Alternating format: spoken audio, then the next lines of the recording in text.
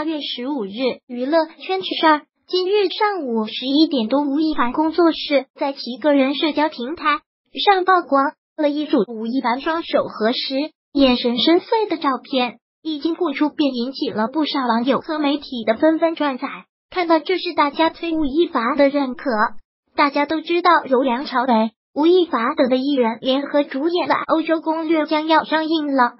所以网友说这是吴亦凡的爱好。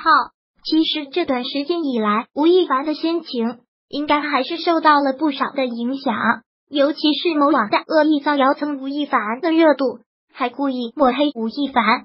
所以这段历史里一切的背后黑手就是某网，觉得太可恶了。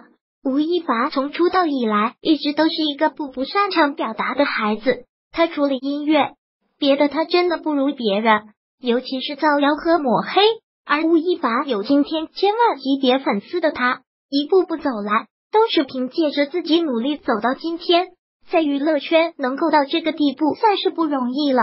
而最近吴亦凡一直都在为自己主演的新片《欧洲攻略》路演宣传，他的中心也是放在了这部影片中。对于其他的他一概都没有回应。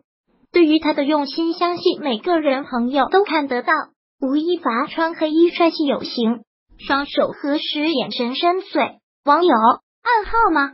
而今日吴亦凡工作室曝光了吴亦凡路演的这一组照片后，网友和粉丝们都在纷纷为他打 call。凡凡才辛苦了，八幺七安排七夕电影院见，凡哥辛苦了。我是海狮，这两天路演辛苦了，七夕电影院见了哦。预祝欧洲攻略票房大卖，M 二法先生洛奇天天开心。